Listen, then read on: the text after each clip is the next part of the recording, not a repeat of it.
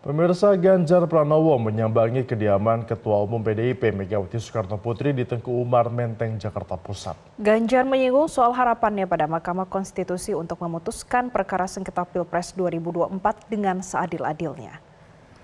Usai pertemuan selama 45 menit dengan Megawati, Ganjar mengaku membahas hal-hal umum, salah satu soal amicus curiae atau sahabat pengadilan yang diajukan Megawati ke Mahkamah Konstitusi terkait sengketa hasil Pilpres 2024. Menurut Ganjar, amicus curiae yang dikirim Megawati menjadi salah satu upaya mendorong MK untuk memutuskan perkara sengketa pemilu seadil-adilnya agar demokrasi tetap terjaga.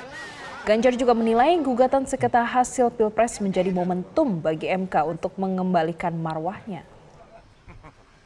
Momentum yang luar biasa buat MK untuk tidak membuat April Mop, tapi memperingati apa yang pernah dilakukan oleh seorang Kartini. Habis gelap, terbitlah terang. Dari kondisi MK yang selama ini menjadi cacian, makian ya, dengan stempel-stempel yang kurang baik dengan putusan MK-MK, rasanya inilah momentum untuk mengembalikan marwah MK. Tapi saya secara pribadi, saya kira Ibu juga sama, tidak akan mempengaruhi putusan.